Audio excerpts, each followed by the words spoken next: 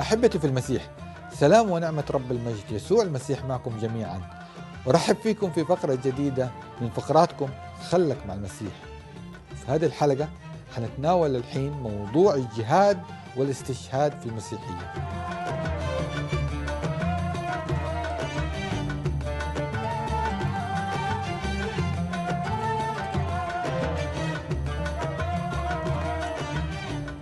كثير من المسلمين يحسبون ما في عندنا جهاد واستشهاد. ولكن في الحقيقة حنا المسيحيين عندنا الجهاد الجهاد في المحبة والعطاء. الجهاد في التضحية. جهاد في تحقيق العدالة. جهاد في المساواة. كلمة جهاد أصلا مشتقة من بذل الجهد في تحقيق أمر ما. فلا يجي واحد يزاود علينا ويقول عندكم جهاد يدعو للقتل والقتال. حاشا لله. حتى الحروب الصليبية ليس لها أي علاقة ولا مرجعية من الكتاب المقدس. حنا المسيحيين مملكتنا مش من هذا العالم ولكن مملكتنا في السماء. يوحنا 18 26 الكنيسة أبدا ما كان لها دعوة تأسيس مملكة على هذه الأرض.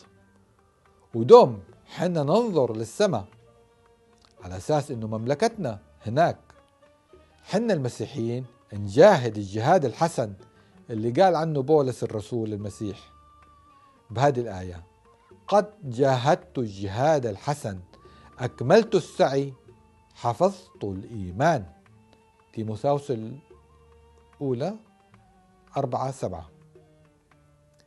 كلمة جهاد انذكرت في الكتاب المقدس حوالي 22 مرة.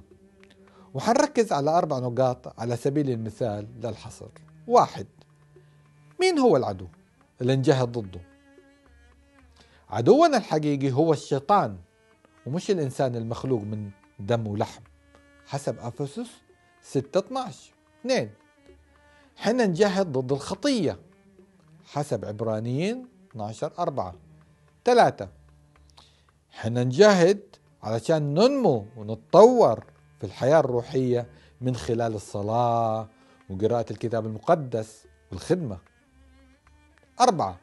حنا نجاهد ككنيسة كجسد واحد من تبشير وتلمذة وشركة وعبادة وغيرها. هذا هو الجهاد المسيحي. وما في عندنا شيء اسمه قاتلوا أعداءكم وأعدوا لهم من قوة ورباط الخيل وغيرها من هذه الأمور. حتى لما بطرس طلع سيفه وقطع إذن الجندي الروماني المسيح إيش قال له؟ قال له رجع سيفك لمحله وقام ولمس بيده الكريمة إذن الجندي الروماني وخلق له إذن جديدة. متى؟ 26 الآيات 51 ل 53 حتى لما تسمع كلمات في الكتاب المقدس مثل رب الجنود أو الحروب الروحية وغيرها كلها ما تخرج من هذا المفهوم الروحي. أما الاستشهاد فهو الموت في سبيل الحفاظ على الإيمان. والحقيقة أن الكنيسة وعلى مر تاريخها كانت كلما عانت من الاضطهاد كلما زاد إيمانها وزاد عدد اللي ينضمون للكنيسة ويخلصون. وهذا طبعا عكس المنطق. ولكن هذا بالتأكيد قوة صليب المسيح وقوة قيامته. أحبتي في المسيح أصلي أن تكون هذه الفقرة وضحت لك بعض المفاهيم الخاصة بالجهاد والاستشهاد بالمسيحية. صلاتي أنه الكل يخلص ويجاهد الجهاد الحسن وينال تاج النصر من يد يسوع المسيح نفسه. آمين. أترنم بمراحم الرب للأبد وأعلن بفمي أمانتك من جيل إلى جيل. لأني قلت إن مراحمك ثابتة للأبد وقد ثبت في السماوات أمانتك. قد قلت إني سويت عهد مع الملك اللي اخترته. أقسمت لداود عبدي أثبت نسلك للأبد وأبقي عرشك قايما من جيل إلى جيل. السماوات نفسها تشيد بعجايبك أيها الرب والملائكة هالقديسين بأمانتك؟ فمن في السماء يعادل الرب ما فيه بين الكائنات السماوية من يماثله إنه إله مهوب مرة في محفل الملائكة هالقديسين ومخوف كثير عند كل المحيطين فيه. من مثلك يا رب إله الجنود الرب القدير وأمانتك محيطة فيك. أنت متسلط على هياج البحر فتهدي أمواجه عند ارتفاعها. أنت سحقت قوة مصر فصارت مثل قتيل وبددت أعدائك بقدرتك العظيمة. أنت ملك السماوات والأرض بعد. أنت مؤسس المسكونة وكل ما فيها. أنت خالق الشمال والجنوب وباسمك يترنم جبل تابور وحرمون. أنت ذو القدرة العظيمة يدك قوية ويمناك رفيعة. البر والقضاء قاعدة عرشك الرحمة والحق يتقدمون حضرتك. طوبى للشعب اللي يستجيب الهتاف البوق.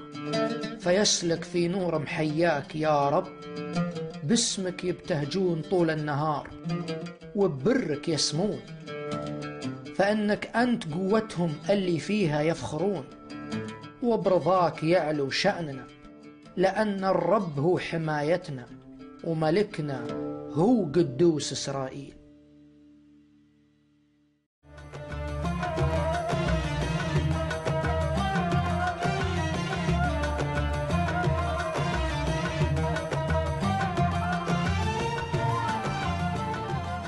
أعزائي المشاهدين في السعودية والوطن العربي أهلا وسهلا فيكم في فقرة جديدة من فقرات سعودي مسيحي. أعتقد أن لا يوجد مسيحي عايش في وطننا العربي إلا سمع وتأذى من جملة يكررها عامة الإخوة المسلمين يتهم فيه أقدس كتاب بالنسبة له وهو الكتاب المقدس بأنه كتاب محرف. وللأسف هذا هو الاعتقاد السائد عند أغلب إخواتنا أو إخواننا المسلمين. وهذه هي وجهة نظرهم في كتابنا واللي طبعا ما يتحرجون من ذكرها أبدا وقت تسمح لهم الفرصة, الفرصة لذكرها. فدائما نسمع جملة أنتم كتابكم محرف أو المسيحيين واليهود كتبهم محرفة. يعني الإنجيل محرف والتوراة هم بعد محرف. وأعترف أني أنا شخصيا كنت مثل غيري. أعتقد أن كتب أهل الكتاب محرفة ومش مثل القرآن المصان والمحفوظ من كل تحريف. فمع أن الركن الثالث من أركان الإيمان الإسلامي والواجب لصحة إيمان أي مسلم هو أن يؤمن بالله وملائكته وكتبه ورسله وباليوم الآخر وبالقدر خيره وشره. ومع أن الإيمان بكتبه ومش بكتاب واحد سبق حتى الإيمان برسله برسله إلا أن المسلمين يؤمنون بكتب هم في نفس الوقت غير مؤمنين فيها. بحجة أن الله فعلا أنزل هذه الكتب وهي كلام الله فعلا لكن الله تكفل بحفظ القرآن وبس وترك حفظ باقي الكتب للناس. فتكفل اليهود بحفظ التوراة وتكفل المسيحيين بحفظ الإنجيل. وهذا طبعا كلام أعتقد أنه غير منطقي وغير مقبول. فالله مستحيل يميز أو يفرق بين كلامه فيكون بعض كلامه محمي وبعضه غير محمي. وهذا يخصه وذاك يخص الناس. فإذا كنا بشر نحفظ كلامنا ونصون, ونصون عهودنا فبالأحرى يحفظ الله كل كلامه ويصونه من كل تحريف لكن يا ترى إيش القصة بالضبط؟ هل الكتاب المقدس محرف فعلا أو غير محرف؟ وإذا كان غير محرف فمين بالضبط المستفيد من اتهام الكتاب المقدس بالتحريف؟ فهل الإسلام هو من, من اتهم الكتاب المقدس بالتحريف أو في الموضوع إنه وفي شيء مخفي محتاجين نكشف عنه فخلونا نبدأ بمصدر المسلمين الأول ومشرعهم الأساسي الذي لا يأتيه الباطل من بين يديه ولا من خلفه وهو القرآن فهل قال القرآن إن الكتب المقدسة محرفة؟ أتوقع أنك حتنصدم لو عرفت إن القرآن ابدا لم يذكر إن كتب أهل الكتاب محرفة بل على العكس تماما. فإيش رأيك بإن القرآن نفسه شهد بصحة الكتب المقدسة ووثقها كلها سواء التوراة أو الزبور أو الإنجيل؟ لو حطها معيار سليم وصحيح لإثبات أي حقيقة حب المسلمين أو نبيهم من التأكد منها. فقال لنبيه مثلا في سورة يونس الآية 94 فإن كنت أي يا محمد في شك مما أنزلنا إليك فاسأل الذين يقرؤون الكتاب من قبلك من قبلك لقد جاءهم الحق من ربك فلا تكن من الممترين. فتخيلوا إن القرآن يقول على لسان الله شخصيا يا محمد لو انت شك فيني أو مش مصدقني فعندك أهل الكتاب روح تفضل روح واسألهم عشان تتأكد وتتوثق من كلامي بنفسك. فكيف تتوقع يطلب الله من نبيه يسأل ناس هو عارف في الأساس أن كتبهم محرفة؟ هل تشوف هذا الكلام منطقي؟ طيب تصدق أن القرآن في آية ثانية طلب منك أنت شخصيا كمسلم إذا كنت محتاج تتوثق أو تتأكد من أحوال الأنبياء ورسالاتهم فأنت بعد تروح وتسأل أهل الكتاب. فقال في الآية رقم 43 من سورة النحل وما أرسلنا من قبلك إلا رجالا نوحي إليهم فاسألوا أهل الذكر إن كنتم لا تعلمون. يعني يا محمد وهم أنتم بعد يا مسلمين. لو حابين تتأكدون أني أنا الله فعلا فعندكم أهل الكتاب. اسألوهم عني وعن رسلي فهم يعرفوني عز المعرفة من خلال كتبهم. شو تقول؟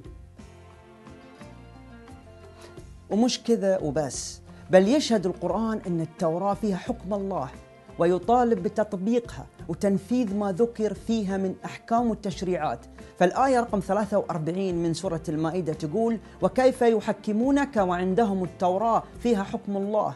يعني القرآن هنا يشهد للتوراة إنها سليمة وغير محرفة وفيها حكم الله والواجب النفاذ.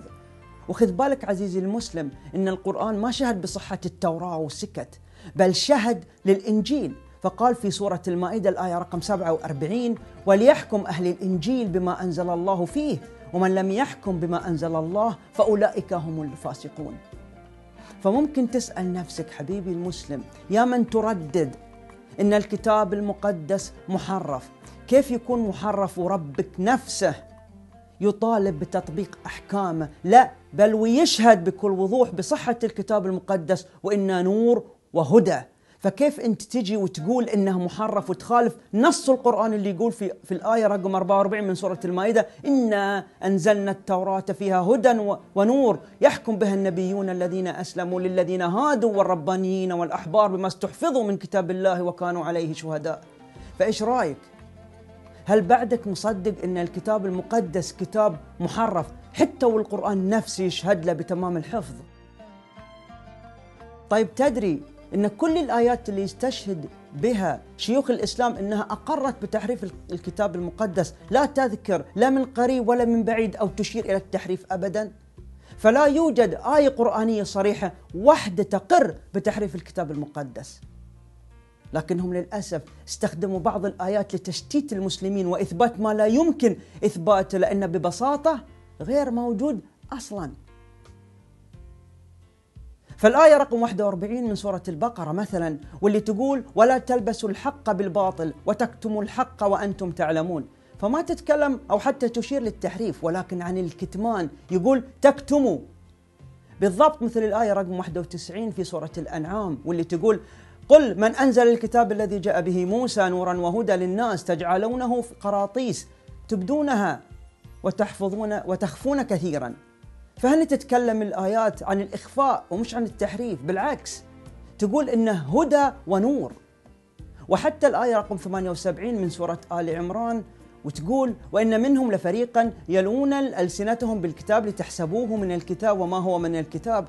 فلو ركزت شوي بتشوف إنها تتكلم عن تأويل ومش تحريف. فهم يلون ألسنتهم يعني بالكلام فقط. علما إن المذكورين هنا فريق منهم. يعني كم يهودي كانوا في حوار مع المسلمين بس ومش كل اليهود.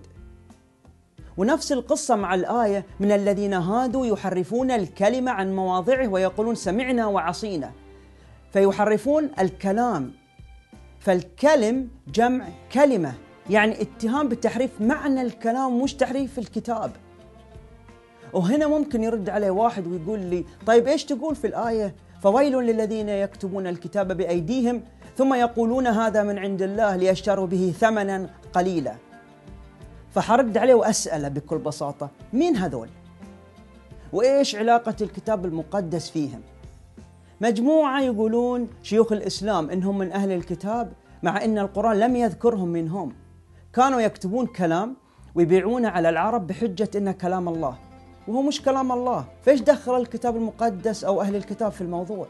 لكن خلني أقول لك هل تدري أنك بكلامك هذا أن الكتاب المقدس محرف تكذب القرآن وتكذب الله؟ ولازم تستغفر؟ فالقرآن يقول في سورة الأنعام الآية 34 وبكل وضوح ولا مبدل لكلمات الله ولقد جاءك من نبأ المرسلين. يقول ولا مبدل لكلمات الله. يعني واضحة لا مبدل. يعني ما حد يقدر يبدل كلام الله. فكيف تقول إن اليهود أو المسيحيين بدلوا وحرفوا كلام الله؟ وإن الله حفظ كلام وترك كلام وهو نفسه يقول لا مبدل لكلمات الله. ولا ذا الآية ممكن عمرها ما مرت عليك. طيب مرت عليك الآية رقم 46 من سورة العنكبوت؟ ولا تجادلوا أهل الكتاب إلا بالتي هي أحسن. إلا الذين ظلموا منهم وقولوا آمنا بالذي أنزل إلينا وأنزل إليكم وإلهنا وإلهكم واحد ونحن له مسلمون. أكرر آمنا بالذي أنزل إلينا وأنزل إليكم. فكيف يشهد رب المسلمين وقرآن المسلمين ونبي المسلمين إن كتب أهل الكتاب صحيحة وفيها هدى ونور ويطالب المسلمين بالإيمان بها ويقول آمنا بالذي أنزل إلينا وأنزل إليكم. وبعد هذا كله يجي مسلم ويقول لنا كتابكم محرف. شيء من جد غاية في الغرابة. طيب بعيد عن القرآن وخلونا نفترض جدلا أن المسلمين ما يقرون القرآن وما يدرون عن كتابهم أو أن سقطت منهم الآيات اللي تثبت صحة الكتاب المقدس. فخلونا نستخدم العقل والمنطق ونسأل كم سؤال يمكن يوصلنا لإجابة. والبينة دائما على من ادعى. أنت تقول إن الكتاب المقدس محرف. طيب ماشي يا عم ولا يهمك. لكن ممكن تقول لي بس متى حرف؟ إذا كان حتى وقت ظهور الإسلام والتوراة والإنجيل كتب كاملة ومنتشرة بين الناس وهذا كلام معروف وموثوق تاريخيا. ومش محرفين بشهادة القرآن فالقرآن نفسه طلب من أهل الإنجيل بتحكيم الإنجيل وطلب من اليهود بتحكيم التوراة. فمن فمتى تم التحريف؟ متى؟ هل عندك فكرة؟ تقدر تقول لي؟ ثانيا كيف تم التحريف؟ يعني إذا كانت آلاف النسخ من التوراة والإنجيل منتشرة في الكثير من المعابد والكنائس والأديرة وفي ثلاث قارات كبيرة فبالعقل كذا. مين هذا اللي يقدر يغير كل النسخ في العالم في وقت واحد؟ ترى الموضوع مش سهل مثل ما تتوقع. والسالفة مش كم كتاب هنا وهناك نحرفهم على السريع وقت ما نحب وانت ماشي. يعني خليك منطقي شوي. وثالث سؤال هو مين حرفهم هل اليهود مثلا هم اللي حرفوا كتابهم؟ أكيد مستحيل لأن المسيحيين ما راح يسكتوا أو يسمحوا بتحريف كتاب يعتبر جزء لا يتجزأ أو أساسي في كتابهم طيب يمكن المسيحيين هم اللي حرفوا التوراة؟ طبعا مستحيل لأن اليهود ما راح يسكتوا أو يسمحوا أو يقبلوا لأي أحد مهما كان أن يحرف كتابهم المقدس والموجود عندهم أصلاً وهم صعب على المسيحيين يغيرون كل نسخ التوراة في العالم كله. والسؤال الرابع هنا هو الصالح مين؟ ومين المستفيد؟ وإيش السبب أو الدافع للتحريف؟ يعني ليه اليهود أو المسيحيين بيحرفون كتبهم أصلا؟ عشان إيش؟ هل عشان مسح الأدلة اللي تثبت نبوة محمد؟ طبعا لا.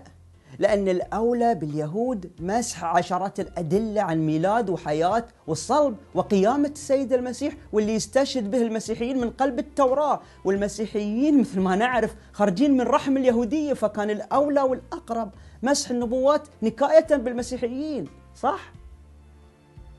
وأخيرا والسؤال المهم هنا والمطلوب إثباته هو فين تم التحريف؟ وفين النسخة الأصلية؟ فأرجوك حط صبعك كذا وأشر وقل هنا وقع التحريف وعطني الأصل إذا كان عندك وخلينا نطابق بينهم وإثبت لي كلامك فإذا كنت تملك النسخة الأصلية فتعال ورني فين وقع التحريف فإذا كنا نجد عشرات الآلاف من المخطوطات والنسخ القديمة للتوراة والإنجيل مكتوبة قبل وجود الإسلام مطابقة تماما للكتاب الموجود بين يدينا اليوم فأين وقع التحريف بالضبط؟ يعني لا القرآن قال إن الكتاب المقدس محرف ولا العقل ولا المنطق يقولون إن الكتاب المقدس محرف لكن شيوخ الإسلام يقولون إنه محرف. وصدقني ما ألومهم فالموضوع محرج فعلا. فالقصة ببساطة لو حاب تعرفها أخي المسلم بدأت في, عصر الدولة العباسية. وخصوصا في عهد الخليفة العباسي المأمون وقت ازدهرت الترجمة في عهده وشجع على العلوم والمعرفة والترجمة وفعل بيت الحكمة واللي كان المسؤول عنه وقتها شخص مسيحي اسمه حنين بن إسحاق. حنين هذا ترجم التوراة كاملة من اليونانية إلى العربية وهنا بس ظهرت المشكلة. اكتشفوا علماء المسلمين فروقات كبيرة بين القرآن والتوراة. فروقات في البنية وفي المتانة وفي الدقة وفي التفاصيل وفي والأعظم من كل هالفروقات ظهور بعض الاختلافات عن القرآن اختلافات كبيرة في الأماكن والشخصيات فإيش الحل؟ ومن هنا جات قصة أن الكتاب المقدس محرف دفاعا عن سمعة القرآن. وهذه القصة ترى من أولها إلى آخرها. فلا القرآن قال إن الكتاب المقدس محرف ولا فيه دليل علمي أو عقلي على تحريفه لأن مستحيل أحد يقدر يحرف كلام الله وإحنا كمسيحيين عارفين ومتأكدين من صحة كلمة الله الموجودة عندنا ونثق أن الله قادر يحفظ كلامه. فالمسيح يقول السماء والأرض تزولان ولكن كلامي لا يزول. ويقول في متى 5 18 فإني الحق أقول لكم إلى أن تزول السماء والأرض. لا يزول حرف واحد أو نقطة واحدة من الناموس حتى يكون الكل. هذه هي الحقيقة اللي لازم تصدقها. وتاخذ قرارك إنك تتعرف على الكتاب على كتاب الله وتبدأ من اليوم رحلتك مع كلمة الله المقدسة وتستمتع بمحبته وتتعرف على حقيقته. والآن لكم مني أجمل تحية وأرق المشاعر وسلام المسيح معاكم وأشوفكم الأسبوع الجاي على خير.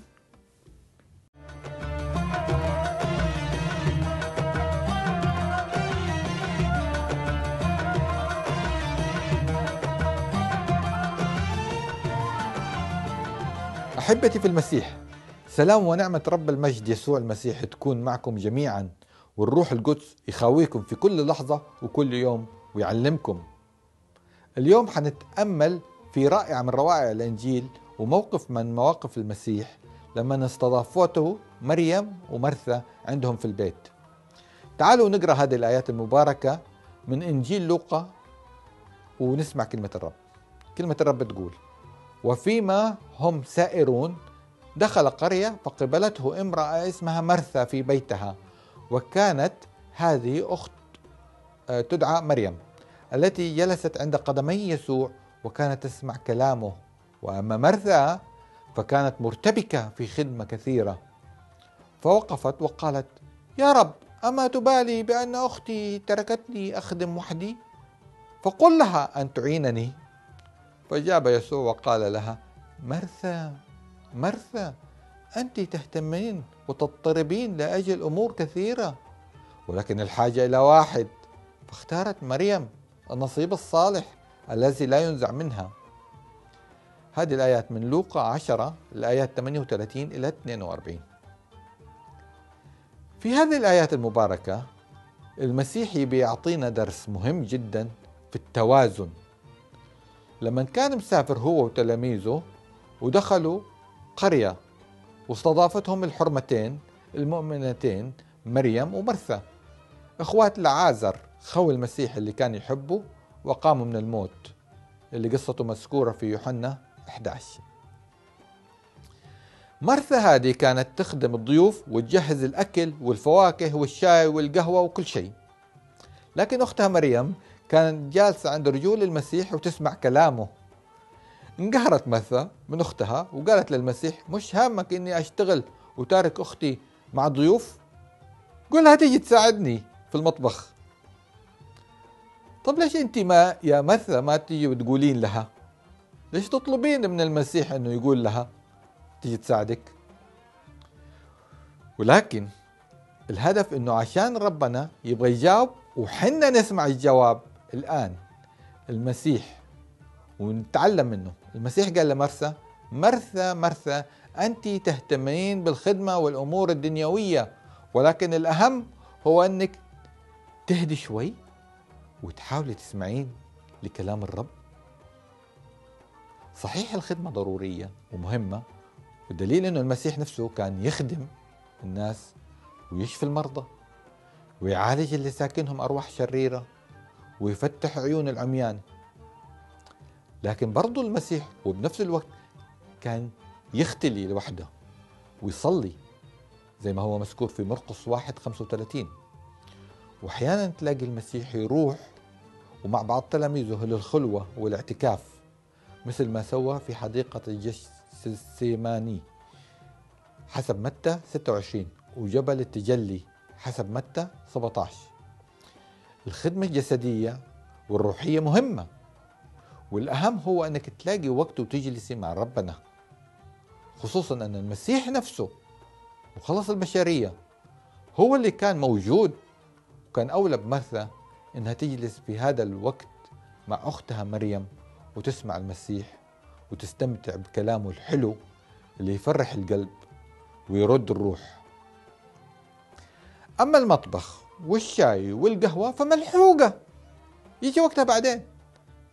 أحبتي في المسيح هذا الدرس لكم ولي ولكل واحد مننا. إذا لقيت نفسك مشغول بالخدمة زيادة عن اللزوم تذكر أنك تفرمل وتحاول تلاقي وقت وتجلس مع المسيح تسمع كلامه وتقرأ الإنجيل وتسمع لروح الله إيش بيقول لك. والعكس صحيح. إذا لقيت نفسك بس تسمع لكلام الله وما تسوي شيء وتعتزل الناس حاول إنك تلاقي أي فرصة وتختلط مع الناس وتخدمهم علشان تطبق اللي تعلمته من خلال جلوسك في مجلس الرب. أحبتي في المسيح أصلي علشانكم وأصلي علشاني أنا بعد أن الرب يعطينا كلنا حكمة في استخدام الوقت. بشكل صحيح بشكل متوازن. والرب يبارك الجميع بالمسيح يسوع. آمين.